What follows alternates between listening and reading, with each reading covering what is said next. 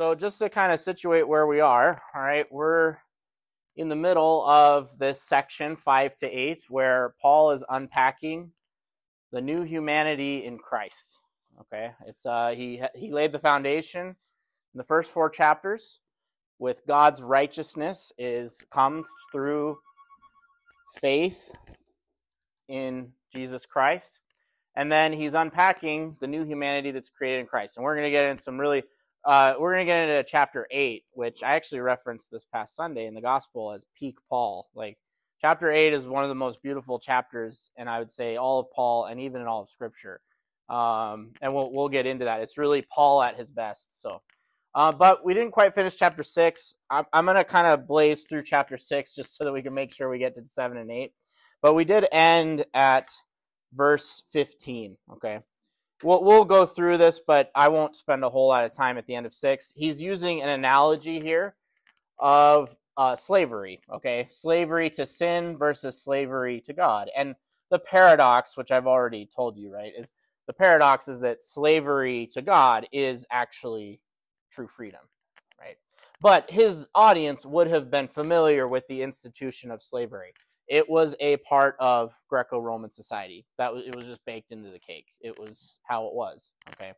Um, so anyway, so we'll pick up there, verse uh, chapter six, verse fifteen. Okay. What then are we to sin because we are not under the law but under grace?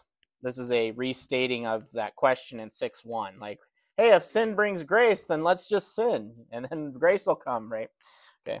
By no means.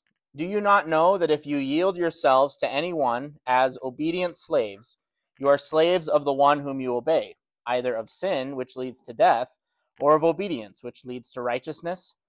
But thanks be to God that you who were once slaves of sin have become obedient from the heart to the standard of teaching to which you were committed, and having been set free from sin, have become slaves of righteousness. The main point here is you can only serve one master.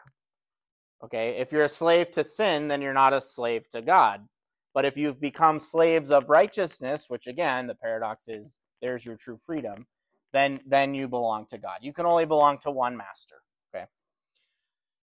Verse 19, I am speaking in human terms because of your natural limitations. Paul's maybe adding this in here just in case somebody's scandalized that he's comparing life and God to slavery. Okay. Um, but he's using a human analogy, is his point. For just as you once yielded your members to impurity and to greater and greater iniquity, so now yield your members to righteousness for sanctification. Remember back oh, a few chapters ago when he was going through all those psalms and it named all the body parts, right? They're given over to impurity. He's he's playing off of off of that, okay? That we've already kind of that theme we've already kind of explored. Verse 20, when you were slaves of sin, you were free in regard to righteousness. But then what return did you get from the things of which you are now ashamed. The end of those things is death. I think that this is a really healthy thing for us to realize as sinners, that we eventually realize, right? That, like, what did my sin really gain for me? Nothing, right? And now I'm ashamed of it, and it really wasn't. A... Sin, there's always an element of sin that is attractive. Otherwise, you wouldn't do it. Okay, the the the devil has to put the poison apple in a candy coated caramel, you know, layer. Okay. Why? Because otherwise you wouldn't do it. If sin was just pure evil, you wouldn't do it. There's something attractive in it. What Aquinas, in Aquinas' terminology, he would call the apparent good. Okay. There's always something apparently good, but is it actually good for you? That's the question. So, you know, one way to think of sin is it's a, it's a, it seems often sin is a gain in the short term, but it never is a gain in the long term. Sin is always unreasonable, which for St. Thomas is like one of his kind of definitions of sin. Sin is unreasonable because even if it gets me going in the short term, in the long term, it undermines my soul, my character, my relationship with God, my relationship with others, etc. Okay. Verse 22 But now that you have been set free from sin and have become slaves of God, the return you get is sanctification and its end eternal life. For the wages of sin is death, but the free gift of God is eternal life in Christ Jesus our Lord. That's a famous verse. And what a great verse, right? To sum it up. The wages of sin is death. if you are a sinner and you keep going on sinning and persisting in sin, you will eventually go bankrupt. Okay? It's like withdrawing on a checking account. You can't just keep withdrawing forever. Okay? Well, unless you're the US Congress and then you try. Okay? No, but we we that's the problem, right? With the national debt is we can't you can't do it forever, okay? Um that's a whole different discussion. But like but like it's not like you can't keep sinning and expect to get good results. Okay. The wages of sin is death. Maybe not your physical death immediately, but certainly your spiritual death. Okay. So, and then, but the gift of God is eternal life. That's why Aquinas would say sin is unreasonable because it's always on some level against your ultimate goal, which is blessedness, beatitude, life with God. Okay. All right, so that's a little. That's the end of chapter six. Okay. Um, now he's going to switch in chapter. Th- this whole section is still connected, though. Okay, so he's not. It's not a radical break from what we've been doing in five and six. Now he's going to use uh, an analogy with marriage. Okay. Verse uh, chapter seven. All right, and and and I will. I should say that um, seven is a continuation of, of the problem that he's kind of unpacking in in six okay, as far as this this are you know being beholden to sin versus the spirit is what he's eventually going to get into chapter seven he's going to develop this problem more and then chapter eight is the solution that's where chapter eight is like looking at kind of from the mountaintop of the letter of the Rome. It's kind of it's in the middle of the letter, but it's kind of the peak of the letter in some ways. Okay, and uh, it, it is arguably chapter eight's the climax of the letter. Not that the rest isn't important, but eight you get the, like the mountaintop view. Okay, so the problem he's setting up in seven, he's going to deal with an eight. So uh, Paul's been using slavery to uh, to sin versus slavery to God as an analogy for Christian freedom. Now he'll use a different analogy, marriage. Not that marriage is slavery. I'm not, you know. I don't, I don't know. I'm I'm I'm celibate, so I don't know. You know. I, uh, all right. Uh, verse chapter seven, verse one. Do you not know, brethren? For I am speaking to those who know the law, the Jews. Okay, that the law is binding on a person only during his life.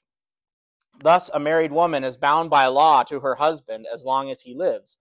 But if her husband dies, she is discharged from the law concerning the husband. What's his point there is marriage is until death do us part.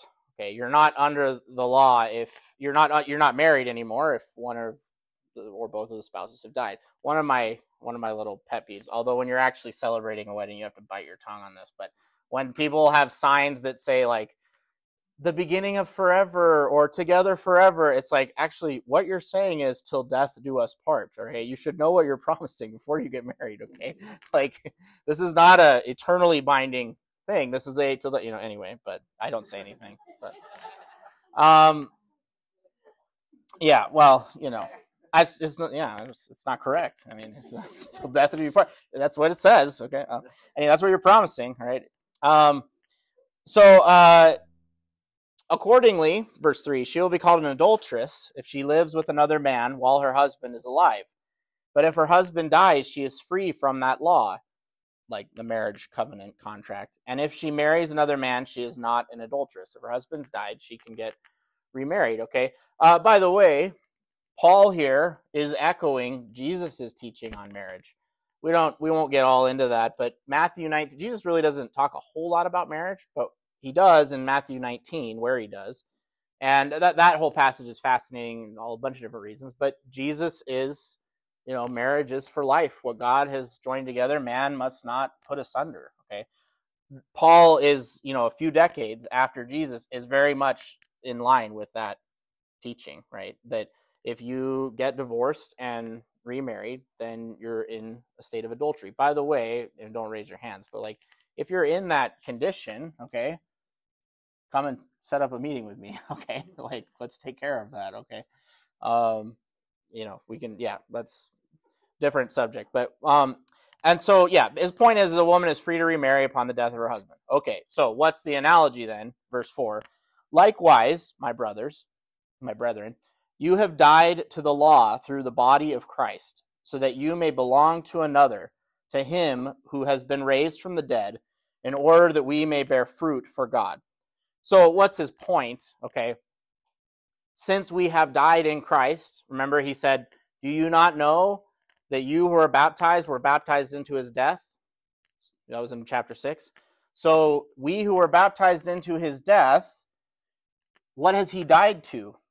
Sin, the old man, the old way of being human. Okay.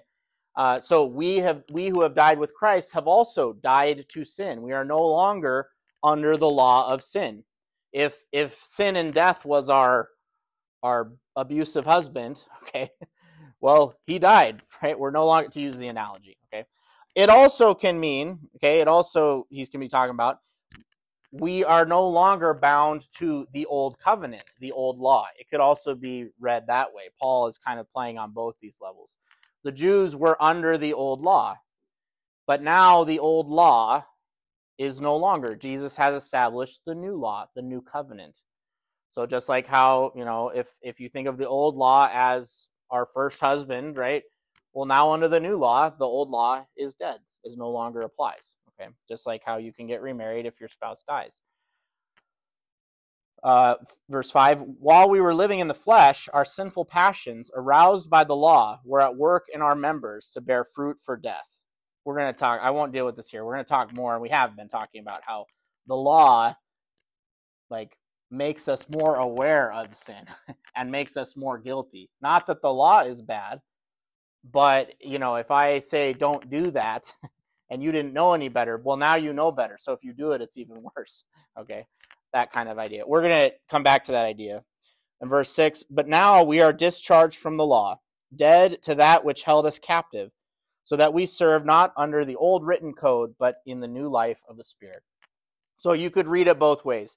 Paul's contrasting us being under the law of sin and death, and now we're in the new law of Christ, or we were under the old, if we were the Jews particularly, we were under the old old law of Moses. Now we're under a new law, a new regime.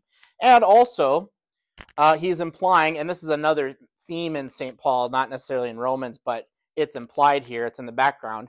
Uh, we have been espoused to a new husband, to Christ. Okay. Um, that's he he develops that in other letters, but it's certainly in the background of what's saying. That's another level that you could read this part on. This is a major theme throughout the Old Testament. Okay, uh, throughout the Gospels, Jesus refers to himself as the bridegroom. God, throughout the Old Testament, wants to wed himself to his people. And the people are not faithful. Therefore, in the Old Testament, this is a big theme in the Old Testament. Idolatry is equated with adultery, they're like synonymous. Unfaithfulness to God, idolatry, is adultery, spiritual adultery. Okay. Um, so, what does God do? He comes as Jesus, the divine bridegroom, to save his bride, us. And then this theme is brought up in the letters of St. Paul, and then it's uh, brought up, it's the end of the Bible, Revelation. We talked about that last year. God's marriage covenant with his people is a unifying theme of the Bible. That's a big statement. You can read the entire Bible as a, the marriage covenant of God and his people. So marriage is an extremely important, um, not just theme of the Bible, but theme of what we believe the meaning of everything is. Everything finds meaning in the marriage of God with humanity. Okay, that it, that is enacted how definitively through Jesus Christ. Okay, um, so now what Paul is going to do in this rest of chapter seven, he's going to contrast the old marriage, the law of the old law, or the law of sin, okay, the law or the law that caused more sin, okay, not that the law is bad, but it caused it, right, versus the new marriage, which is the new law in the spirit, okay, and the spirit, which has been kind of in the background this whole time, is gonna eventually, eventually tonight, pop out and kind of take center stage as like what here's the preview right of tonight spoiler okay um, what is the new humanity in Christ? The Spirit of God that lives in the believers, the faithful, those who have faith, right? That the Spirit of Christ, the Spirit of God, is working in those who believe to make them righteous. Okay? we'll get there in chapter 8. Okay. But in the meantime, we're going to kind of have a mini arc here where we appreciate the bad news before we go into the good. Again, kind of on a miniature level. We've been doing that, right? But we have a little mini one here in verse chapter 7 and 8. Okay. So, verse 7. What then shall we say? That the law is sin? By no means. Yet, if it had not been for the law, I should not have known sin. I should not have known what it is to covet if the law had not said, You shall not covet. So, Paul, again, Paul is emphasizing that the law is good. Why? Because it comes from God and the law produces is, is the pathway to righteousness, right? But what happened? Okay, the law only made us, particularly well, us meaning God's people, the Jews, only more aware of sin. Was it able to stop the Israelites from sinning? By no means. Right? It's good, but in some ways it just made it worse. Okay, uh, and Paul is saying, you know, he uses the example here of, "I would not know what it is to covet if the law had not said, You shall not covet, he's referring to the ninth and the tenth commandments, okay, in Catholic enumeration, right, which is based on Deuteronomy.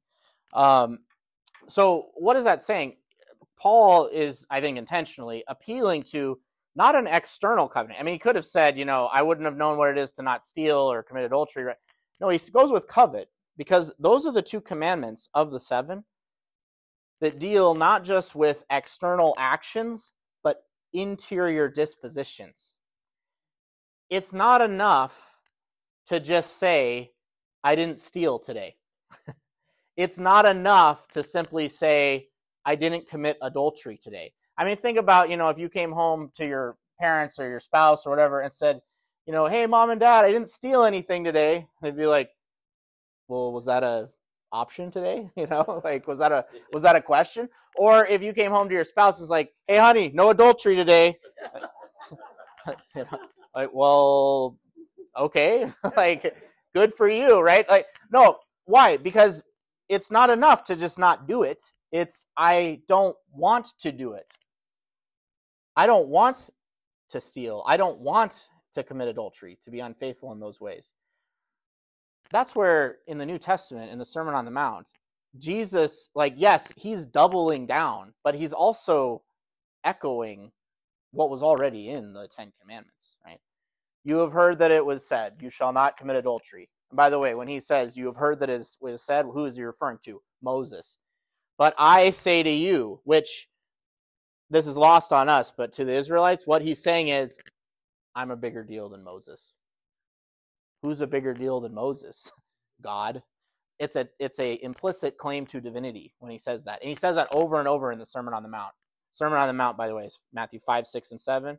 Okay, the greatest sermon ever preached, right? The best summary of Jesus' teaching that we have in the in the Gospels. You have heard that it was said, You shall not commit adultery. But I say to you, because I'm greater than Moses, that anyone who looks at a woman with lust has already committed adultery with her in his heart dang, I thought I was doing pretty good. Like I hadn't committed adultery. I mean, I want to, but like, you know, right. But, but what's, what's he getting at? Okay. Where's your heart? okay. And that was, and again, that was already in the old law. That's why perfect love, right, fulfills the law. Because what God was trying to do with Israel in the Old Testament was not just to get them to have right conduct. Okay, yes, that's part of it. But he wanted to fix their hearts. We're going to get into that. Paul's going to get into that. What's our problem?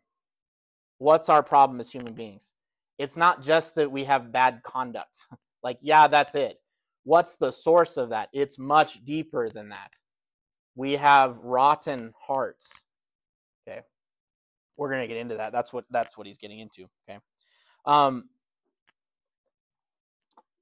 let's uh yeah, continue verse 8. But sin, finding opportunity in the commandment, wrought in me all kinds of covetousness. Apart from the law, sin lies dead. Um, he's kind of he's using a rhetorical device here, uh, or literary device. He's personifying sin. Okay, he's kind of in these next few verses. He's treating sin as kind of this uh, predator lurking around, looking for opportunities to like cause you to sin. Okay, so sin is what did sin do? Right, sin saw the commandments, the law, as an opportunity, right? because now I can really the sin in this personified way can make it worse because you're going to know what you're supposed to do and you're not going to do it anyway, right? That's even worse, right? Um, our our knowledge of something being wrong often doesn't stop us from doing it. In fact, it can make us want it all the more, right? Like uh, you know, the child that learns where the cookie jar is, now they want a cookie, right? They didn't. Th- that's what Paul means by the law. Uh, what does he say in that last part? It? Apart from the law, sin lies dead. He's not saying that sin didn't exist without the law. I mean, uh, that was the whole thing in chapter one with the Gentiles. Like they're they've been lost for a long time, right? But the point is, is like if you don't know where the cookie jar is, well then, and to not take cookies from it, well then you don't desire the cookie, right? But as soon as you tell the kid, hey, there's where the cookie jar is, now I want the cookie, right? Now I want the forbidden fruit. You could even use that, right? You know. Um, and I'm not not I'm not saying that ignorance is bliss, but there there it's like the knowledge from the law then becomes what an opportunity for this predator sin right who's like now we're really going to mess with your heart right? Because you're not going to do what's right. Or um how about this? Okay let's bring it into the adult world all right? Let's say someone tells me they know some juicy detail about one of my friends or coworkers okay? What do i do? I say oh that's, that's fine. No it's like no tell me right? I want to know right? You were ignorant of that before they told you but now it's like you know yeah, what what what did they do, right? You know, you're you're curious, right? I mean, how perverse we are, right? You know, it's like knowledge makes it worse. It'd be better if you just why'd you even tell me that? That now I want to know. Okay, what's the gossip, right? All right. Uh, so, what is Paul doing here? He's going to explore this interior conflict that is part of our fallen nature due to original sin. Okay, it's part of life in the pit, is that we have this interior conflict. Um, just a kind of a little bit of a philosophical aside, uh, Plato, the great philosopher, Greek philosopher, he thought that wrongdoing was simply a matter of ignorance. That if somebody does something wrong, it's simply because they're ignorant. Now, that can be true, okay? Uh, but I think Paul shows that our problem is not ignorance of the mind. It's not just the law. If Israel had followed the law, they would have been fine. They knew they did know better. Okay, uh, but rather, what's the problem? It's not a problem of the head, it's a problem of the heart. Okay? In that sense, Plato was wrong. Okay? Which is saying something. I mean, he was right on a, a lot of things, but but in that sense, knowledge being the simple problem. To, if you know better, then you won't do it. Well, it's not really the issue because it's our hearts. All right. Okay, uh, verse 9. I was once alive apart from the law, but when the commandment came, sin revived and I died. The very commandment which promised life proved to be death for me. This is the irony of the people of Israel. By receiving God's laws, it only made it worse for them because they couldn't follow it. Okay? And uh, by the way, like, I don't know if you've ever considered this, but the Old Testament ends unfulfilled. If you just have the Old Testament, which even Jews today just have the Old Testament, it is a story that is dot, dot, dot. has a lot of promises, a lot of buildup, but it doesn't have an ending. It's an open ended story if you just have the Old Testament. And I would go even further and say without the New Testament, the Old Testament is a tragedy of the highest order. Because what's the problem? God has given special attention and care to this people, and even they can't get it. So if they can't get it, well, then there's no hope for the rest of us dirty, stinking Gentiles, right? I mean, we're, we're far gone. Like, you see the tragedy there, right? It's like the tragedy is uh, we can't we can't get out of the pit, right? The Old Testament ends with none of this. and not only that, but like God has tried to instruct the people how to get out of the pit, and it can't happen repeatedly. Even Israel's best kings and leaders, right? David and Solomon are considered, and they are, the best kings in Israel history. But one was a adulterer and murderer, and the other one was, you know, rich and, and problems with all kinds of stuff, right? Um, you know, they they were they they can't they can't do it, right? They can't They, they, they succumb to the same disease that all the rest of us have. Okay, you see the tragedy there? It's even worse. Okay. Um, the other thing that I need to mention, okay, and this is going to follow for the rest of chapter seven, Paul's use of the first person here. Okay, uh, what is this I that he that he starts talking about? I was once alive, then I died. The very commandment which promised life proved to be death to me. Okay. Now there's a few options. It's not it's not totally clear, but again, and I think that this and we should be very comfortable with this as biblical readers. It's okay for Paul to intend, and even and even more so for God to intend multiple levels at the same time. Okay, it doesn't have to be this is what he means, therefore that's the end. Especially when God brings in, you know, it's the word of God. God can have something mean something on multiple levels. So on one level, Paul could be talking about his personal history as a Jew, right? That when I was under the law, I still sinned. Okay, um, that's that's possible. He could also be talking about just biblical history in general. He's talking about the story of Israel in general and how you know they the commandment that was supposed to give life could only produce more death. Um, or he could just be talking about human history in general. Okay, I, I think probably just human condition in general is probably his his most primary meaning. But the other two are not only possible, but also can be going on at the same time. Okay, and that's okay with Scripture. Not only is that okay, but that's often how Scripture works. Even if Paul's original meaning was very specific, God, because it's the Word of God, can give multiple meanings to the same passage. So we can read this as Paul talking about his personal history, the story of Israel, and the story of humanity in general at the same time. And there's no contradiction there because it applies to all of them, right? And it's God who orchestrates that, okay? That's true with Scripture in general, not just with um, St. Paul, okay? Um, but it's important to know that he's talking generally, right? Not about a specific sin. He's talking about the human condition, okay? And he's going to get into this interior, this kind of interior dialogue, right? Again, possibly talking about his own interior dialogue, also applies to Israel, also just applies to all of us in general. Okay. Um, I think overall, right? Yeah. So, well, yeah. So we'll just get into it. Okay. Uh, verse 11 For sin, finding opportunity in the commandment, deceived me and by it killed me. So the law is holy, and the commandment is holy and just and good. Again, reiterating, the law is good. I think kind of like, you know, you could think about this as like the, sin is like the serpent, right, lurking in the garden. The garden is good. The fruit is good. Even the tree of knowledge of good and evil is good. But the serpent, the original rebellion, re, re, original one who rebelled against God, he's lurking and he uses the good things of God, this beautiful garden with this man and woman, as an opportunity for corruption and evil. Okay. Well, sin has been doing the same thing ever since. Okay uh, in the case of the, the law. But again, he reiterates the law is good, the law is holy. Um, we don't want to have, and sometimes you can get this not so much in Catholic circles, but in certain circles, law is bad, grace is good. Eh, like that's not that's not what Paul's teaching, and that's not what we believe. Okay, the law is good even if it was a cause for sin, not because it was bad, but because it made things worse. Because if you know better and you can't follow the law, then you're worse off. Okay? That's Paul's point. All right.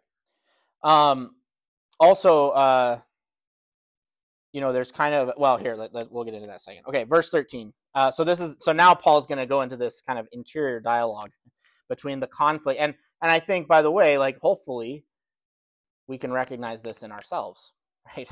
I think he does a really good job, Paul, in this particular passage of giving us a dialogue, an interior dialogue that explains the condition of original sin, right? So what is it how does it work? Okay, verse 13. Did that which is good then bring death to me? By no means. It was sin working death in me through what is good, in order that sin might be shown to be sin, and through the commandment might become sinful beyond measure. So Paul's saying, you know, again, the law is not the problem. Sin is the culprit. Like the rotten part of an apple. Okay, the apple is good. The part that's bad is the rotten part, kind of taking opportunity of the fact that there's an apple to begin with. Um, this is uh, if we want to, and I've mentioned this in the past, but uh, evil on its own doesn't exist. And what I mean by that is evil presumes there's something good that can be corrupted. You don't have evil unless you have something that's good first. You don't have a rotten apple unless you have an apple. You don't have a cavity in your tooth unless you first have a tooth. You don't have evil unless there is something good for it to leech off of. Okay? The technical way to say this is evil is a privation of good. It's not that good and evil are opposite and opposed forces. Okay? Evil another way to say it is evil is a lack of good that should be present. Okay. If I don't have an arm, we would say that's evil. Not that I'm evil, but the, the fact that I don't have an arm would be evil. Why? Because that's a lack of good that should be present. On a healthy human being, you have an arm. If I said, well, then is it evil for a jellyfish to not have an arm? No, because jellyfish aren't the kind of creatures that have arms. That's not a lack of good that should. Well, they have the whatever the tentacles, you know, but you know what I'm saying. They don't have they don't have an arm like or eyes, whatever. Evil is a lack of good that should be present. Or again, think about it like darkness and light. There's no there's no such thing as a dark light in the sense of like, you know, here let me shine this darkness on you, okay? Darkness is a absence of light. Darkness itself on, on, doesn't exist. It's just an absence of what should be there, okay? Even Satan Satan is good in that he's a creature created by God and he was created to be good. He became evil because he chose to be less than what he was created to be. There's a lack of good in Satan that should be present, but he chose to empty himself of any goodness. Same thing with human beings, okay? An evil human being is not fundamentally evil because they're a creature of God. They're good. But through their own choices, through their character, they have become a shell of themselves. It's a lack of good that should be present. Okay. So again, like what is what is right? That's what Paul's talking about here, right? Sin working death in me through what is good. Uh, evil is opportunistic. You know, a great, uh, a great, uh, fantasy world that does this principle really well is the Lord of the Rings. Okay, uh, the orcs. I know, and I know there's more like complicated history in Tolkien's lore, but like the orcs are corrupted elves. Sauron, okay, and and J.R. because J.R. Tolkien was Catholic, okay, he had this principle of evil as a lack of good that should be there, a privation of good, very much throughout the Lord of the Rings lore. So all that Sauron can do, the Dark Lord, he can only take good things and twist them. He can't actually create like pure evil things. He can only take the good things that the good power has created and twist them. So orcs are disfigured, corrupted elves. Okay, like for example, right? Um, there's all kinds of other examples like that in Lord of the Rings, but um, why? Because creation is fundamentally good because it comes from God. Okay, we we don't have time to get into the problem of evil, but but that's that's part of what Paul's kind of saying here. This personification of evil as a predator is opportunistic. Satan was opportunistic. He took the good things that were in the garden and corrupted them. Okay, and even and again, it applies to people. It applies to angels. Okay, all demons are angels that are fallen, less than what they should be. Okay, all right. Um, so what does Paul say though? It's like Uh, one of the ways in which Paul says the, the law or the commandment kind of functions here is the law was almost like bait to get sin to kind of come out in, uh, from the shadow and sh- expose itself for what it really is. It's like, you know, we have the law and now we see like sin for what it is. Like, yeah, it's pretty bad, right? It's not just that we have bad actions, we have bad hearts. Well, we know that because of the law and the history of Israel. Okay.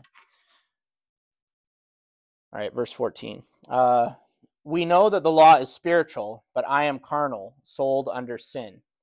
Uh, this doesn't mean that the body is bad, okay? But it's that our souls and our bodies don't cooperate the way that they're supposed to. Um,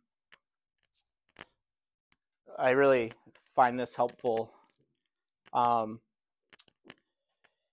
in in God's original plan, the soul was meant to serve God. Okay. The body was meant to serve the soul. So this is the human being right here. Okay, we are body and soul. But within our body and soul, there is a hierarchy. Okay, the soul is higher than the body. That doesn't mean the body's bad. But the soul should be in the driver's seat, not the body. Okay. And in original justice, when Adam and Eve were up here, this was all in harmony. The soul obeyed God, the body obeyed the soul. I mean, can you imagine if your body and your soul were just perfectly in sync? Like what you wanted wanted is what you desired and you just it was like life came easy to you. That's how it was in the garden, right? The body is good, but it's lower than the soul and it's meant to serve the soul. And then material goods, the garden was all good, the things of the world were all good, but they were meant to serve the body, okay? Well, what happened? Adam and what, what when Adam and Eve sinned, it was a sin of disobedience. It was not, as some people sometimes erroneously posit, it was not a sin of the flesh. Okay, it was not a, it had nothing to do with sex or lust. Okay, why? Because the body was in complete harmony with the soul. Their soul was a spiritual and much worse. It was a spiritual disobedience. It was saying no to God. The soul was supposed to say yes to God, and they said no. Well, so what happened? It had a cascading effect. When the soul says no to God, the body says, Well, why do I have to listen to you? So the body rebelled against the soul. The body says, Well, I know what I want. I want to feel good, and that's what I want. Why do I have to listen to you, soul, if you don't listen to God? Okay. So there's a rebellion of the soul against the body. But there was also then what happened? Well, there was an enslavement of the body to material goods. So lust and gluttony probably being the most obvious, right? Where I can actually become a slave to my desires. I can abuse the things of the world. These are all good the things of the world are good things, okay? There's nothing wrong with bacon, right? It's great, okay? But if you eat too much bacon, if your body is a slave to bacon, that's not good. Okay? The bacon is meant to serve your body, not the other way around. Okay? So this particular where we feel particularly in us within the human being, right? So our bodies are slaves to material goods, our souls have rebelled against God. Okay? Again, that's the nature that we inherited. That's the nature that Adam and Eve passed down was a fallen nature, okay? But if we focus in on this relationship we feel within ourselves now a war between our bodies and our souls. right? Because again, my body knows what it wants. It wants to be well fed and feel good and get a good night's sleep and you know like you know I I I smell some bacon and my body's like eat that bacon, right? okay? Even if my soul, my intellect and my will are like I shouldn't be eating that bacon, right? I've had too much. I've had enough. Okay. So we experience within ourselves a war amongst ourselves. Adam and Eve didn't have to deal with that. So this this particular um, this particular conflict in in the in classical terminology is called concupiscence. This war between the body and the soul. Concupiscence just means it's just a fancy word that means desire. The desires of our bodies don't align with the desires of our souls.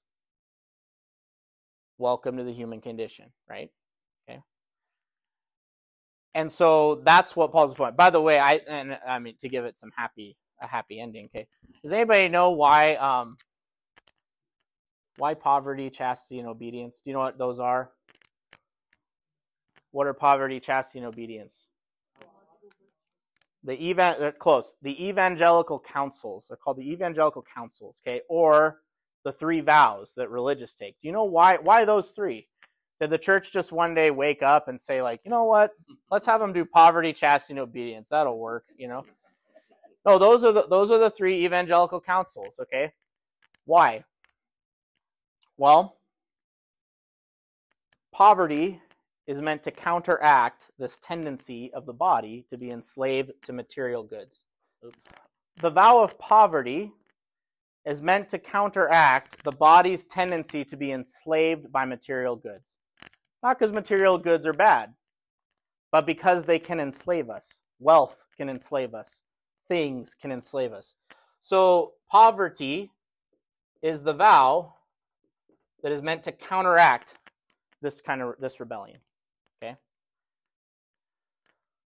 The soul, the body's rebellion against the soul, this internal conflict called concupiscence. It is true that while concupiscence can refer to any wayward desires, it does have a particular connotation to sexual desire. Okay, does it's not limited to that, but it's included that. Why? Because that's one of the strongest desires that human beings have. Okay, is there anything wrong with that? By the way, no. Is that how God created it? Yes. Okay, God loves babies. Okay. However, when we turn that desire into a like pleasure for its own sake, it becomes a problem. And you can extrapolate to all kinds of things that the body rebels against the soul. So, what is the vow that counteracts this tendency of the body against the soul? Chastity. Chastity is not Puritanism. It's not suppressing my sexual desire so that it comes out later in some weird form or something, right? Okay. Chastity is the moderation of sexual desire. Chastity is possession of myself in matters of sex and sexual pleasure so that I can give myself away in love in whatever state in life that I'm called to. in my my high school students, I will ask them, I'll even explain to them what chastity is, and then I'll say I'll ask them, I'll say, So is everybody called to be chaste? And they'll say, No. like like no like no everybody's called to chastity right because everyone is called to have moderation in matters of sex and sexual pleasure in accordance with their state in life okay self possession so that i can give myself away in love in the case of someone who's married to their spouse in the case of a celibate priest not in a sexual way in, a, in, in that way but to give themselves away to their people okay um, in the case of someone who's single to be able to give themselves away fully to their future spouse or their future vocation, right? Self possession so that I can give myself, I can't give what I don't have, right? If I have no control in matters of chastity, well, then I, I can't give myself away fully in love, right? Okay, but what's the hardest vow? It's not chastity, actually. If you ask any religious, it's not, you know, the soul rebelled against God. What was Adam and Eve's original sin? It was not a sin against chastity. Okay? They didn't have to deal with this conflict yet. This is an effect of the fall, not the cause of it. What's the what's the primordial sin? Oh, And what's the yeah, well, and then disobedience. And then what's the vow that's the remedy? Obedience. So for the religious, the vow of obedience is meant to counteract the soul's rebellion against God. And that's the hardest vow, and it's the most important, okay? I mean, you know, they all go together, but like, you know, if if you struggle in obedience, then that's that's more serious than struggling in the other two. Okay, they're all bad, but like, but these are these are the remedies. Okay, these are the remedies. Now, poverty, chastity, and obedience. Does that only apply to religious? No, if you look at the if you look at the catechism, I don't know what paragraph off the top of my head. The catechism talks about these three, the, called the evangelical counsels. All the catechism says that everyone is called to practice the evangelical counsels in accordance with their state in life. All of us, I don't care if you're a priest, religious, married, single, young, old, have to practice some level of poverty we have to have sufficient detachment from the goods of this world. Yes, the religious person takes a vow of poverty so that they don't have any possessions. It doesn't mean poverty in that like you have no possessions, but you need to be sufficiently detached from material goods otherwise you'll be enslaved by the things of the world. So that includes what, right? For for a lay person, right, who's not a religious, that would include things like living within your means, tithing, giving to the poor, um, you know, being generous with others. I don't. I. I. It's not like you know. Well, I'm not a monk or a nun, so I can just let. I can. I can have it all, right? And I can be greedy, right? No, you have to have poverty. You have to live out the evangelical of poverty in accordance with your state in life. Okay.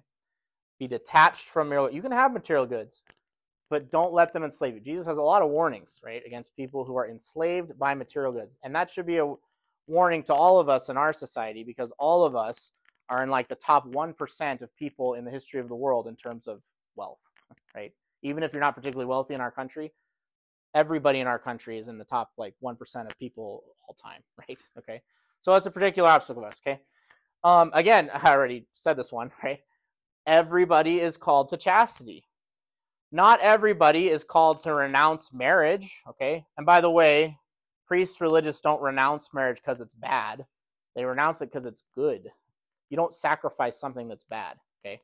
When you're giving up stuff for Lent, you know, you don't say like, you know, I'm going to I'm going to give up my favorite sin, right? I'm going to give up uh, swearing, right? Well, you should be doing that anyway, okay? Lent is the time to do like positive acts of more, like I'm going to give up chocolate, okay? Because it's a sacrifice for me. It's a good thing that I'm going to sacrifice uh, the priest or religious gives up marriage not because it's a bad thing, because it's a good thing, because it's a sacrifice. Otherwise, you know, yeah, you if well, if it was a bad thing, then we wouldn't have the sacrament of marriage, right?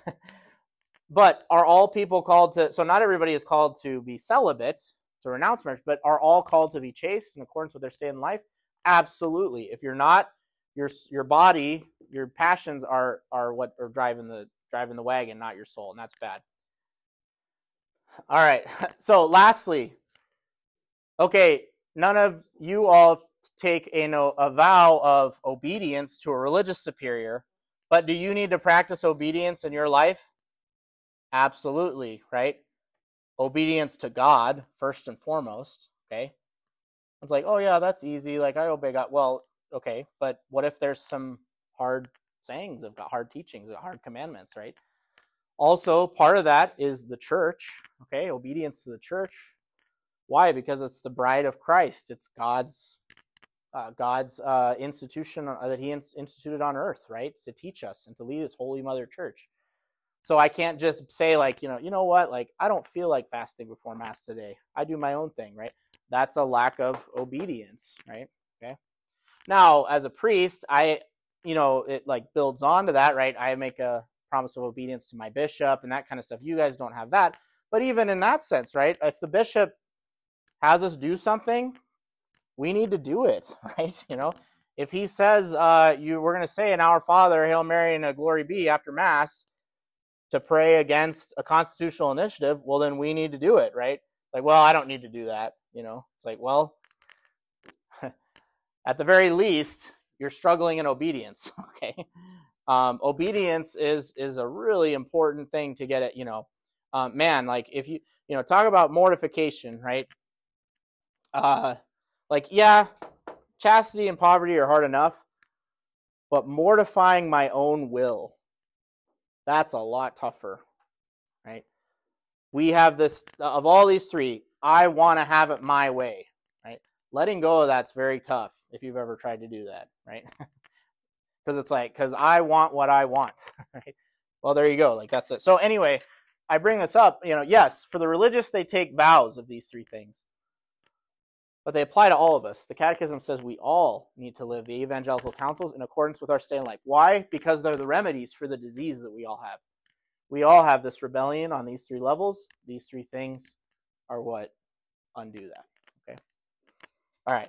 That's a little bit of an aside, but it does play right to what Paul is talking about. What he's going to specifically focus on is this kind of war between this interior conflict between my my uh, the, the what he's going to call the spirit and the flesh. Okay, my body and my soul. They're not always on the same page. Okay.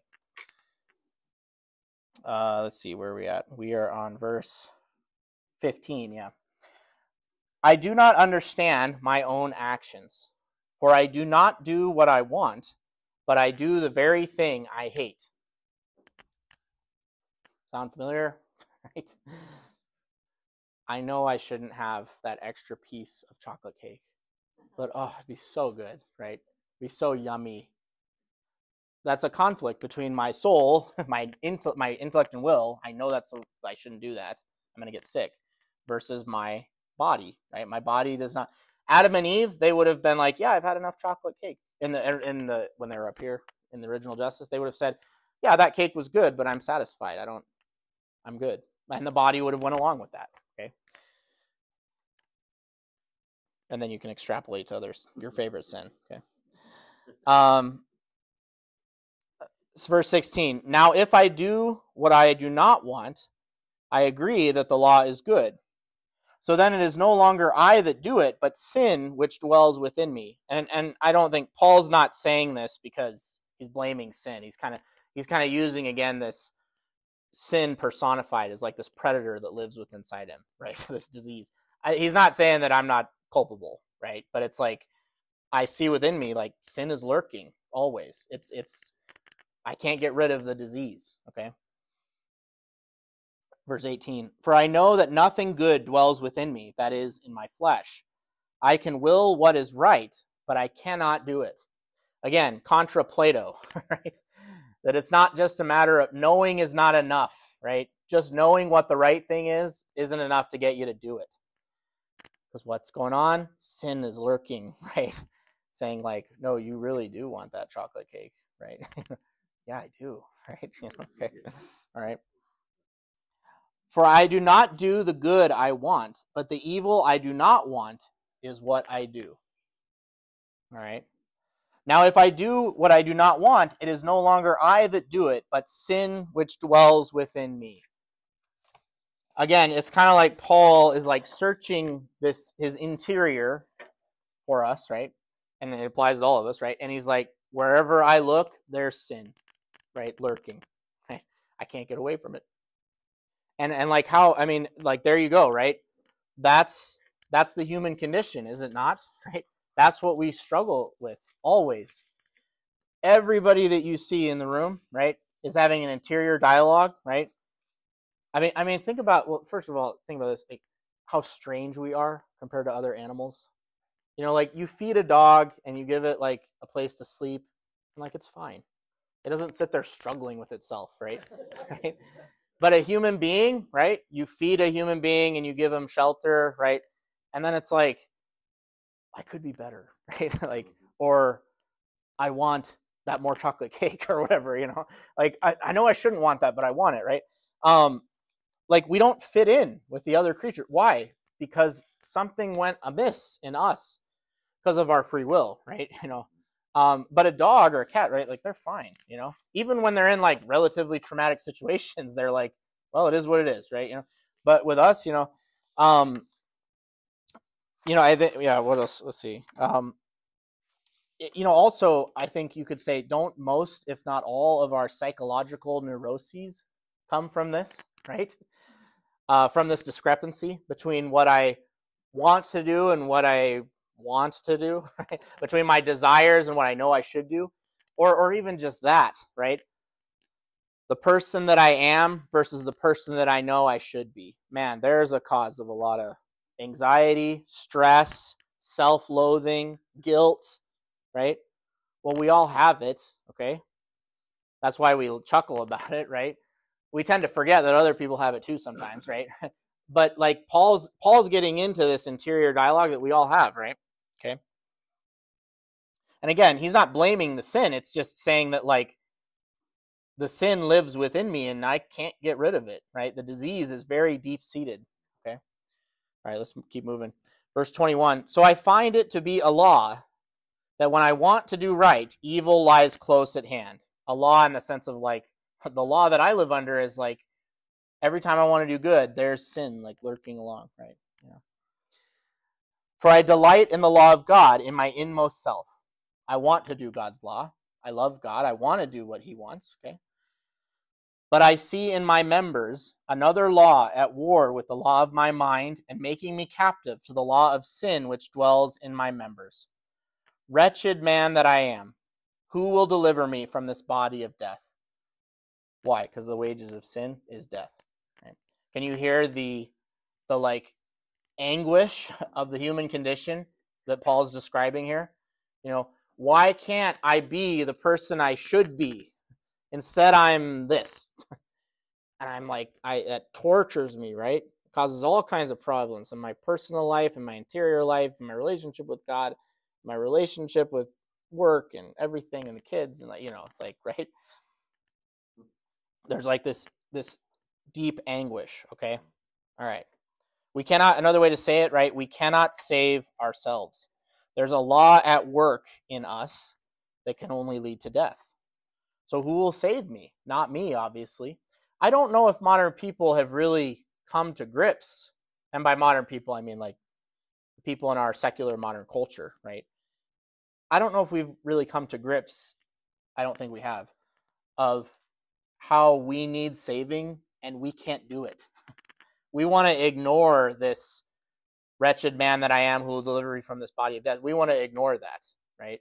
Pretend like it's not there or pretend like we can pull ourselves up by our own bootstraps, right? I would say that characterizes our modern world. And we don't come to grips with that, okay? But, okay, we've had this kind of mini bad news, right?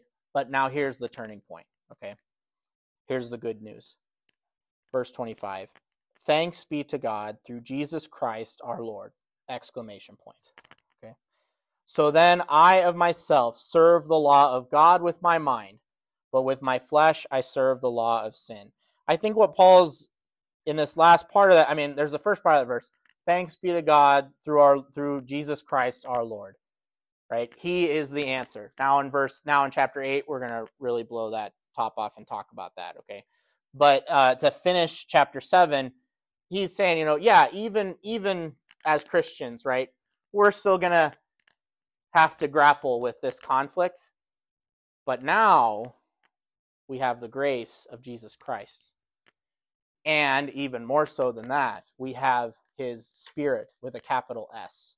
And now this is where the spirit is going to kind of come to center stage. And Paul's going to talk about how the spirit of God that dwells within you who believe is making you righteous. Okay. So we finally get to chapter 8. Okay. So if chapter 7 lays out the problem, chapter 8 lays out the divine solution orchestrated by God. And if I had to put it in a sentence, okay, I would say it's the pouring out of God's Holy Spirit that has come to us through Jesus Christ. The Spirit is the presence and the power of God that it lives within the life of the believer. And as I mentioned, chapter 8 of Romans is one of the most beautiful, profound, and uplifting chapters in all of Pauline literature and I would say indeed all of sacred scripture. Okay.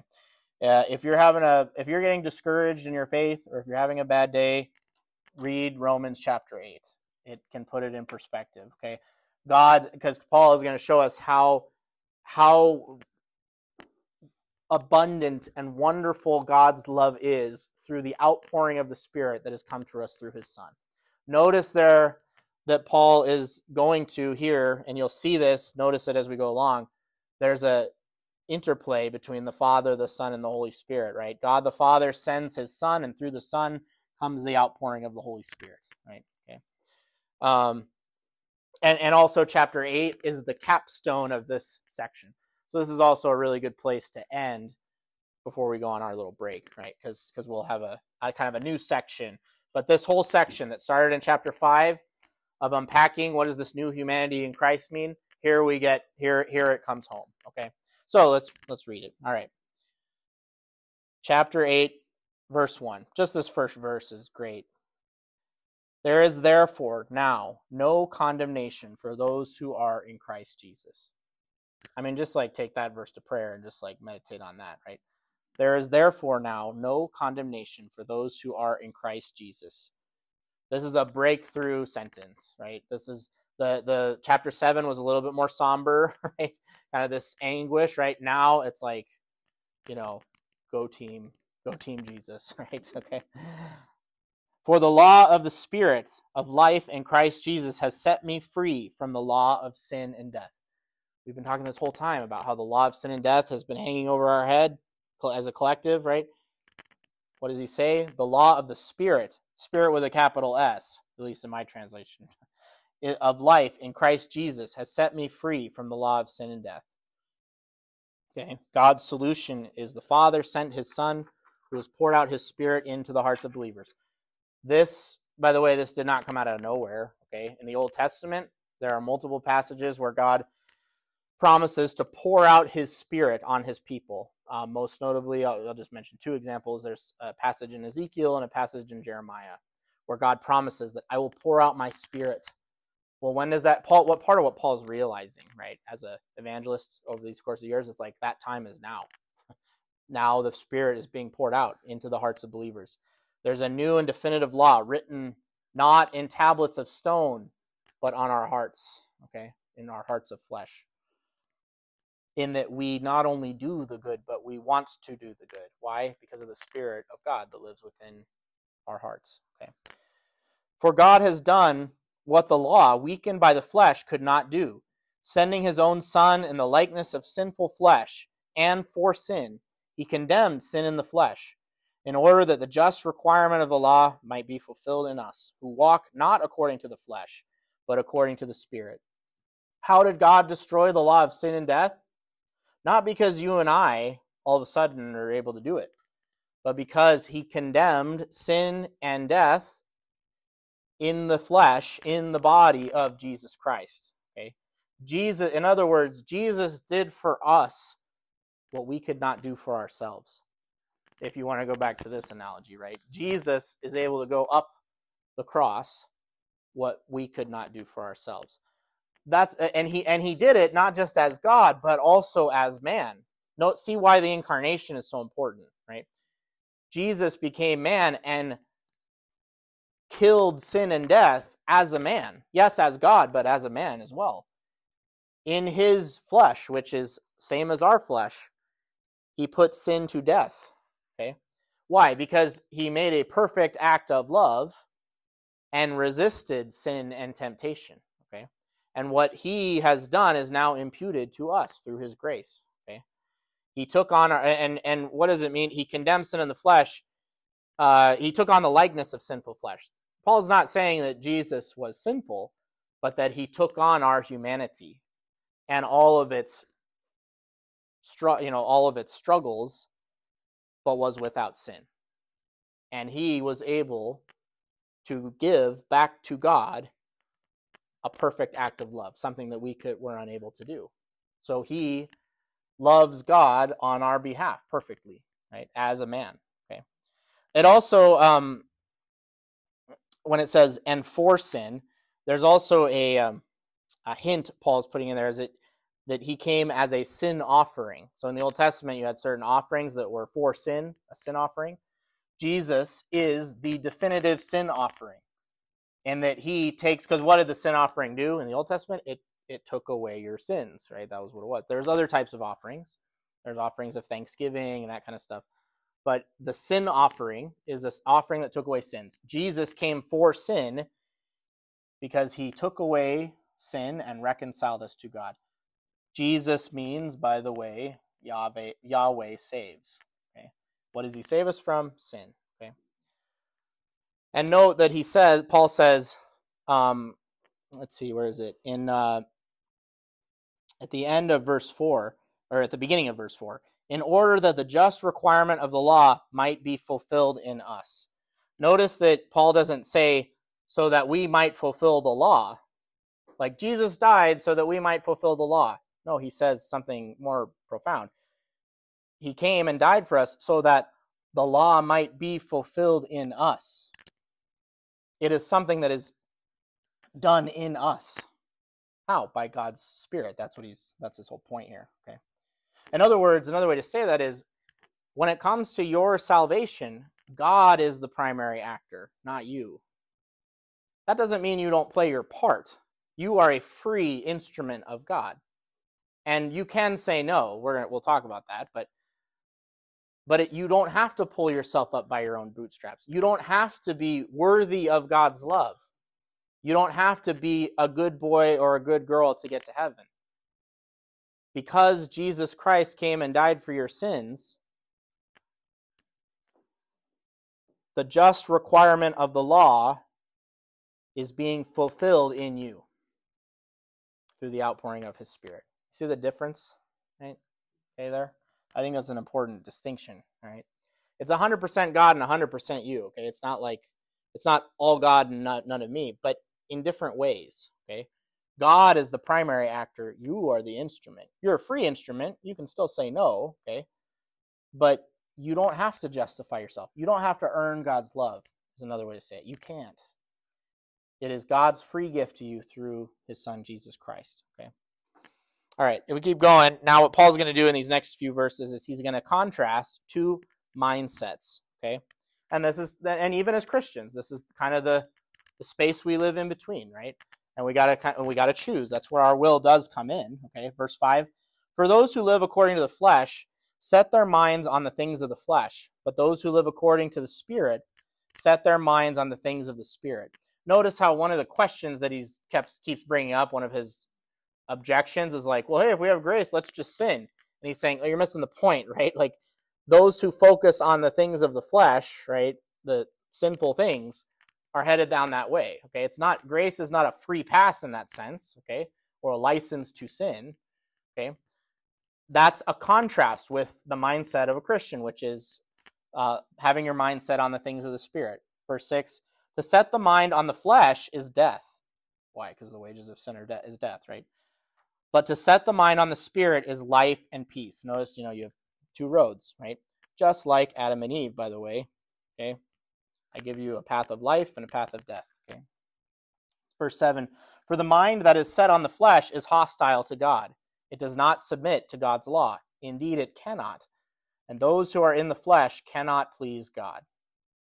So, what do we want to have? We want to have the mindset of set our minds on things of the Spirit. That doesn't mean we won't struggle with this conflict between body and soul, but you know, it's our new life in Christ is not then licensed to focus on the things of the flesh, right? That's his point.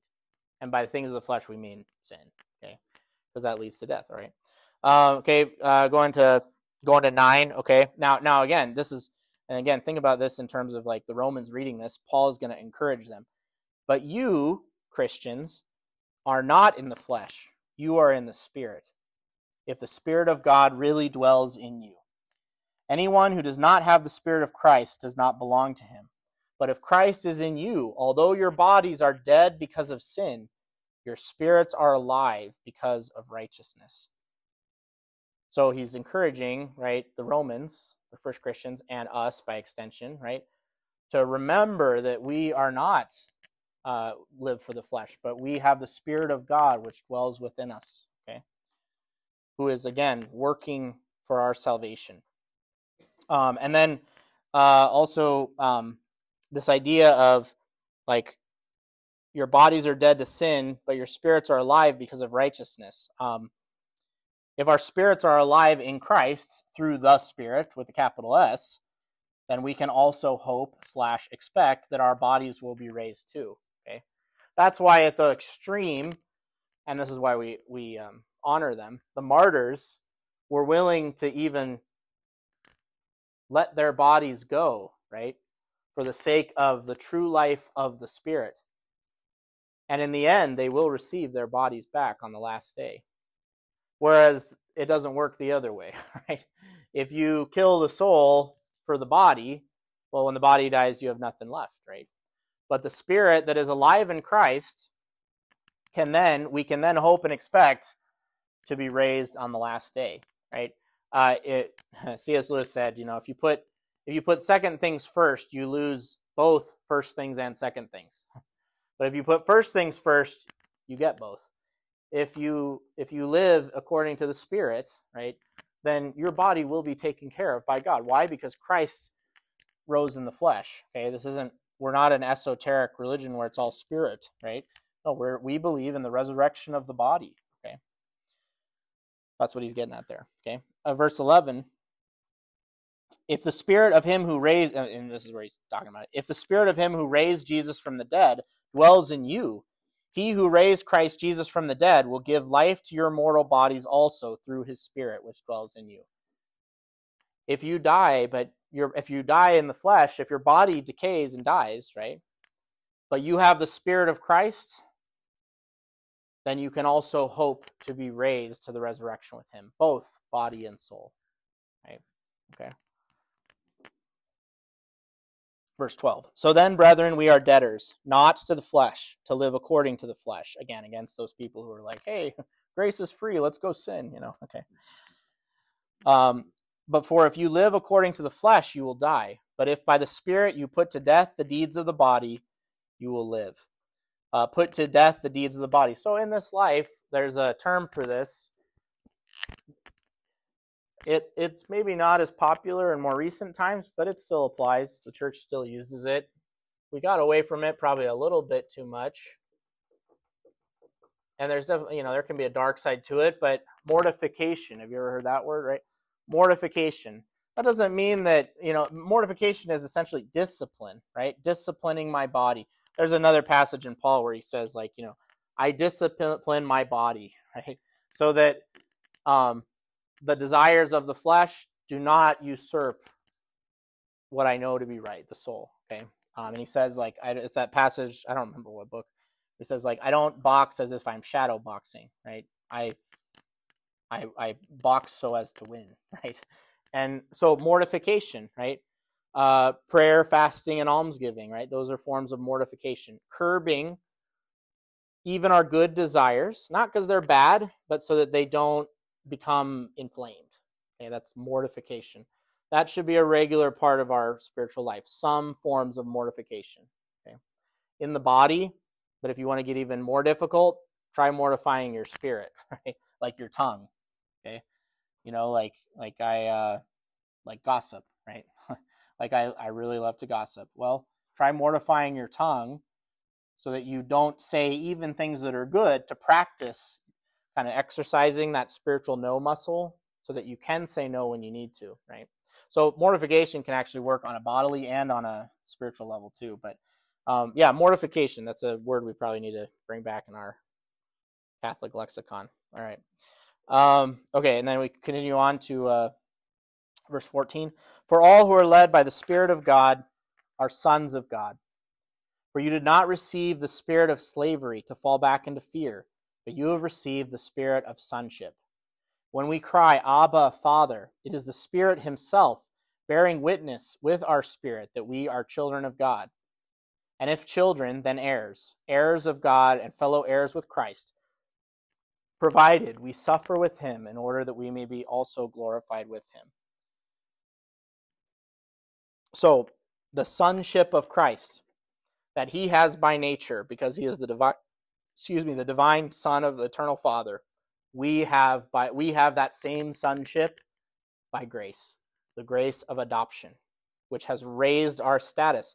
So Paul's saying we can and should rely on God as a trustful son or daughter relies on a good father. And then this term Abba, okay, I think we're probably most of us are familiar with that. Abba. Abba is Aramaic. Okay, that's the that's the language that Jesus would have spoke in day to day. Okay, Aramaic, and uh, so Abba is Aramaic for father, but it's an intimate and endearing term. Okay, sometimes you'll hear people say Abba is like saying daddy. Okay, that's that's maybe like sort of. I mean, okay, like it maybe like a child saying daddy okay not like an adult if you're an adult and you call your dad daddy that's a little strange right but like a child calling their dad daddy right it's that kind of endearing intimate form in aramaic as opposed to a more formal like father or even like sir you know or something like that you know um, and and what jesus we know from the gospels jesus used abba in his own prayer okay there are times in the Old Testament where the Jews refer to God as Father, but Jesus makes that the normative way to address God. When you pray, say, Our Father. Okay. That's not totally foreign to the Old Testament. There are instances where people call upon God as Father. I wouldn't say it's normative, though. For Jesus, it is the default position. God is Father, Abba. Okay. And where's another place that he says Abba? On the cross, right? Okay. That's important. Um, also, too, uh, so how do we share? So, how do we share in our inheritance? by being united with the Son in his sufferings. Okay, just in case all of this has been really flowery, hopeful, nice rhetoric for you, right? Paul's like, no, it, it actually is still through the cross, right? This isn't just wishful thinking or wish fulfillment, okay? That our glory is in the sufferings of Christ that we share in when we unite our sufferings to Him, okay? And He's gonna, now He's gonna go into another soliloquy on suffering, okay? And notice how, like, talking about the glory and the inheritance that we have through Jesus Christ, it's very natural for him to do that, to talk about suffering, right? Why? Because those things are connected. I said, I've said before, right? You can't get the resurrection without the cross. If somebody's trying to sell you the resurrection without the cross, they're trying to sell you something. You're probably in a cult, right? Okay, all right. So, so it's very natural, and he's done this earlier in the letter, but it's very natural for Paul to weave together the glory of Jesus Christ that we share in, and we share in his sufferings. Okay, um, the cross leads to the resurrection. So the glory to be revealed. In my translation, that's the that's the title of this next section. The glory to be revealed, and he's going to talk about suffering. Okay, so let's see how it works here. Okay. I consider that, the sufferings of this present time are not worth comparing with the glory that is to be revealed to us. The suffer, in other words, the sufferings of the present are nothing in comparison to what God has in store. And I don't think Paul's saying that to take the teeth out of suffering. It doesn't mean suffering doesn't hurt. But if you're kind of looking at it as like a long term cost benefit analysis, right? It's like eternity does not compare with temporal suffering in terms of eternity blows it out of the water to an infinite degree.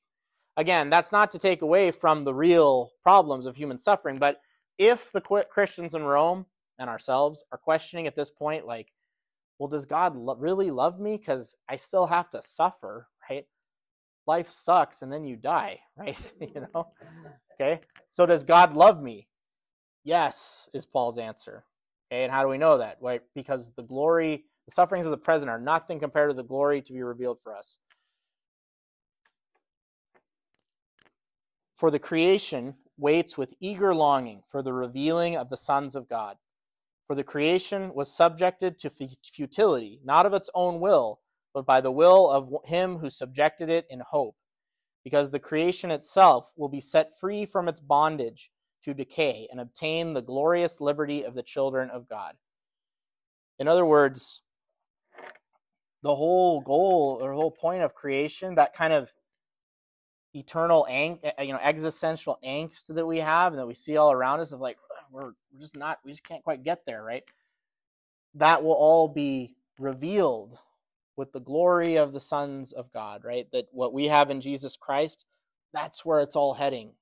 That's where it all makes sense. Jesus who is at the center makes sense of all of the futility of creation the futility of creation or the empty that emptiness of creation that we just like ugh, we just can't quite get there that goes away when the glory of Jesus Christ and those who are with him is revealed. That's where it all heads, right? That's what Paul's saying here, right? Um, it the futility of creation is temporary, okay? Even if yes, we're still in the midst of it. We're still we still experience that that already but not yet, right? That tension of like, yes, we're already saved, but not yet. Okay. Um, and then he and he compares that to a kind of slavery, and then he and then you know as I like said, slave to to sin and death and decay, but will be set free. And then twenty two, we know that the whole creation has now been groaning with labor pains together until now, and not only the creation, but we ourselves who have the first fruits of the Spirit, groan inwardly as we wait for adoption as sons, the redemption of our bodies. Um, so he compares the kind of futility of creation to slavery, right? The creation is captive to these forces of sin and death, but that it will be released from them when the glory of Jesus Christ is revealed, right? And, and for Paul, that's not just a future event. That's an event that's happening now, right? As grace is being poured out through Jesus Christ across time. The Spirit is being poured out. And then what does he do? He compares the futility of creation or the groaning, the longing of creation to labor pains. Okay. All creation knows that there's something amiss, right? Even secular people, right, know that like we just can't get it right. Okay? And we want new, uncorrupted, everlasting life. And Paul compares this to labor pains. Okay? Why? Well, first, it ties Paul's dialogue back to what? Eve's punishment, right? Which, if you remember, I said that was her punishment for um, for the garden, right? In pain shall you bring forth children. But I remember saying last week that Eve's punishment, and Adam's, by the way, but their punishment is also a lesson, right? Her punishment was a lesson about what? Redemptive suffering. Okay. The suffering of labor and labor pains gives way to the joy of the birth of a new child, to new life. Okay. So that the suffering melts away, right? And the mother says, I would do it all again, right? Because of the joy of having my child, right? So, what is Paul saying by drawing that analogy? I mean, again, he's tying us back to the fall, but also the sufferings that we now experience will be worth it, right? That when we're on the side of heaven, right, when we're up here, we'll be like, wow, like God used my sufferings to bring about a greater joy that I couldn't imagine, right? Like a mother, especially who's never had a child before, who is like going through, it's like, I don't know if this pregnancy thing was worth it, right? Well, once she has the child, it's like it was all worth it. And it only came about due to this kind of suffering, right? That's the lesson, right? Um, and then this idea of the first fruits. The first fruits um, is your uh, the first part of your crop, right? And you're supposed to give the first fruits to God, right? To give the best to Him. Well, the first fruits of us, right? What does He say? Is um, uh, the first fruits of the Spirit, right? that we that we're experiencing we, we don't have the full harvest yet right that comes in heaven but even in this life we experience the first first fruits we experience i would say it, this is a different letter of paul but how about we experience the fruits of the spirit right love joy peace patience kindness that's a taste of heaven and that's just the first fruits that's not the whole harvest right so again it's that sense of already but not yet Okay, we're we are are you saved? Are you saved? Yes. Have you been saved? Yes. Are you being saved? Yes. Will you be saved? Yes. It's all three. Okay, we talked about that as well. Um, all right, continuing, uh, verse 24. For in this hope we are saved. Now, hope that is seen is not hope, for who hopes what he sees? In other words, if you if you were in heaven, then you wouldn't need to hope for heaven because you'd be there, right? Part of what makes hope hope is it's not here yet. So we shouldn't be shocked that we need hope because we're not there yet, right? Um, but if we hope for what we do not see, we wait for it in patience. Okay. Um, notice this is the opposite of the despair and the angst that was in chapter seven, right? Oh, wretched man am I! What, what, what? Who will save me from this body of death? Right? Well, one of the fruits of the Spirit that is within us is hope, not in ourselves, but in God who has given us this grace and the Spirit through Jesus Christ. Okay. Likewise, the Spirit helps us in our weakness, for we do not know how to pray as we ought, but the Spirit Himself intercedes for us with sighs too deep for words. You think about from all eternity, the three persons of the Trinity have been having an interior dialogue, if you want to put it that way. They've been communicating to each other in love.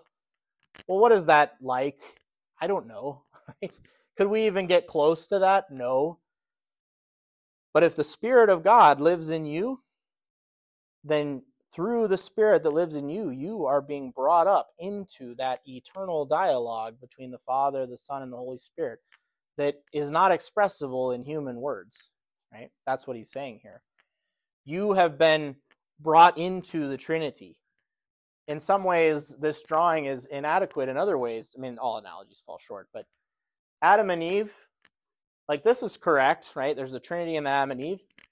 In some ways, in many ways, it would be more correct to draw us in the triangle because we live the spirit of god with a capital s lives in us and we've been grafted on to the body of christ well who is christ christ is god he is in the trinity i mean uh, this is a little crude but well, it's always going to be a little crude, right? But like, if you want to think about it this way, there's the Trinity, right? Jesus, when he takes on a human nature, is fully God, fully man, right? He's he's in the Trinity. Well, where are we? right there. Adam and Eve didn't enjoy that. They were in harmony with God, but they weren't in the Holy Trinity like you and I are. We are through two ways, at least, right? Through being grafted onto the body of Christ and through his spirit, which dwells within us. Okay. Our, our access to the Trinity, another way to beautiful way to put it, our way into the Trinity is the humanity of Christ. Right? That's why we always go back to that. Okay. So the Spirit the Spirit that lives within us knows what we need and knows how to pray, knows how to enter into this eternal relationship of divinity, and so intercedes with us with sighs too deep for words. And he who searches the hearts of men knows what is the mind of the Spirit, because the Spirit intercedes for the saints according to the will of God. Now, we do need to pray, okay? Jesus does tell us to ask for things, right? But we shouldn't pray with a kind of angst and anxiety of like, you know, I need to push the right buttons for God to listen, right? Why? Because the spirit that lives within you is already interceding for you. Also, too, I, I should have mentioned this earlier, right? Um, it is only with, through the spirit that we can even say, Abba, Father, right? It is the Spirit Himself bearing witness. The only way that we can say, Abba, Father, or Jesus Christ is Lord, is the Spirit who prompts us to do such things, right? The Spirit is already working within those who believe, right? That's the point. 28 We know that in everything God works for good with those who love him, who are called according to his purpose. That doesn't necessarily mean, that doesn't mean that God wills evil for you, okay? But it means that God can bring good even out of the worst evils, even out of the worst kinds of suffering. So we have no reason to despair. Um, Paul and us should know this from the witness of Scripture. Like, how about Joseph in Genesis. All these bad things happen to him. He gets sold into slavery by his brothers, but God orchestrates it for good. Right? That's what Joseph says. Or how about the greatest example? The cross itself. Right? The greatest evil becomes the greatest good. God works for good for those who love him and are called according to his purpose. Verse 29 For those whom he foreknew, he also predestined to be conformed to the image of his Son, in order that he might be the firstborn among many brethren a lot of people don't know this, but like as Catholics, we actually do believe in predestination in the sense that God predestined us. He foresaw from the beginning of creation that we were meant to live with him in Jesus Christ. Now, what we don't believe in is double predestination, which is not only did God foresee that, but you also have no say in the matter. okay? You have no free will. That's called double predestination. If you're a Calvinist, that's where he went. Okay? That's not good but predestined in terms of God planned from the beginning of creation for you to be with him in the Trinity through his son. Okay, that in that sense of predestination, and that's what Paul says, we were predestined, right? To be conformed in order that he might be the firstborn among many brethren. Firstborn is an is is an important title, right? Especially in the ancient world. Jesus is our exemplar who gives us the perfect example of sonship. He's gone before us as our elder brother in the in, in faith, so to speak. And then he's the primary heir. In the ancient world, the firstborn was the primary heir, right? Um, and he and us along with him. Why? Because we're grafted onto his body, so we're along for the ride too. Uh, or if you want to think about it as like he's the firstborn, he's the head, and we're the body. We talked about the analogy of birth last week. Where he goes, we follow. Okay. Uh, and then uh,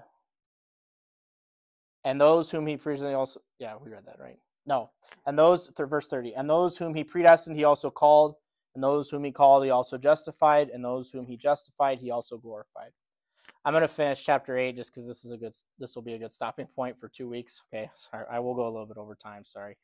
Uh, verse 31 what then shall we say to this? If god is for us who is against us? He who did not spare his own son, but gave him up for us all, will he not also give us all things with him? So, if God's Spirit is working in us through all things good and bad, right, then for our ultimate benefit, then what do we have to fear? Nothing. If suffering cannot keep us from God, then what what can, right? Like, you know, man, everything like everything in my life is falling apart. I'm suffering a lot. Yeah, but that's God is that doesn't mean you're apart from the love of God.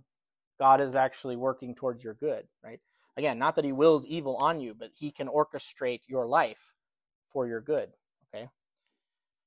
Um, also, there's an allusion here to the story, not not coincidentally, to the story of Abraham, right? God tells Isaac to spare his own only beloved son. But God, what he does not ask Abraham to do, God does. He does not spare his only begotten son. So God God does what he he doesn't spare his son Jesus, right? So if God is willing to give his only son for our benefit, what else is he there to what else will he not give, right?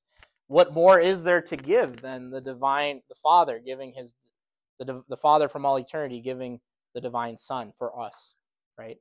He won't there's nothing, you know, what will he also not give, right? Verse 33, who shall bring any charge against God's elect? It is God who justifies. Who is to condemn? If you want to give a person to this, how about Satan? Satan means accuser. Okay. What is Satan going to say? You know, well, God, I've got this other thing again. No, like God has God has justified us. Game over, right? Satan doesn't have a, a leg to stand on anymore, okay? Or anyone for that matter. It is it is Christ Jesus who died, yet who was raised from the dead, who is at the right hand of God, who, who intercedes for us.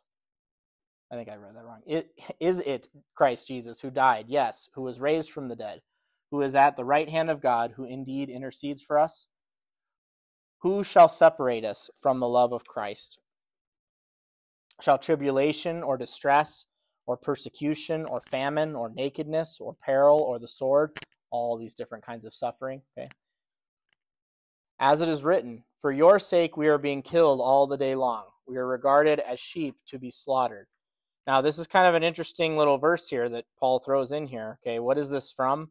This is uh he's quoting here Psalm 44, 22. And the psalmist is puzzled, and this is a common theme in the Psalms and in the Old Testament. Why is it that the righteous suffer? And isn't that kind of a perennial question, right? Why is it that bad things happen to good people, right?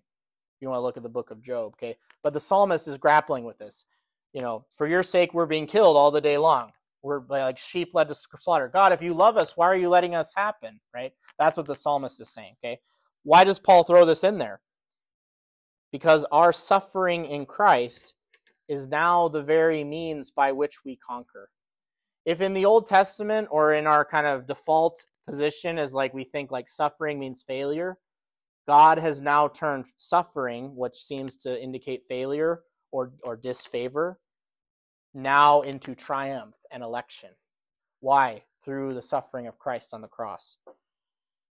So suffering is not a sign of God's curse, as the psalmist is kind of tempted to think, right? And in the Old Testament, they're tempted to think, but a sign of God's election in Christ. Why? Because now our sufferings are brought into His and now become the means of victory uh, the very thing that afflicts us suffering, death that hangs over our head, and by the way, causes a lot of us to sin, right? Why do I, some sins, why do I sin? Because I don't want to suffer, right? Well, now our embracing of suffering becomes the cause for our victory when we take up our crosses and follow Christ. If you want to think about it this way, God has rigged the game, okay? I mean, imagine if like you were playing football and every time the opposing team scored a touchdown, you get points on the board. The other team would go, "Well, we can't win," you know. Or if or if like you had, you know, the coin, right? You know, heads I win, tails you lose, right? You know. It's like that's what God did, right? It's like heads I win, tails devil loses, right?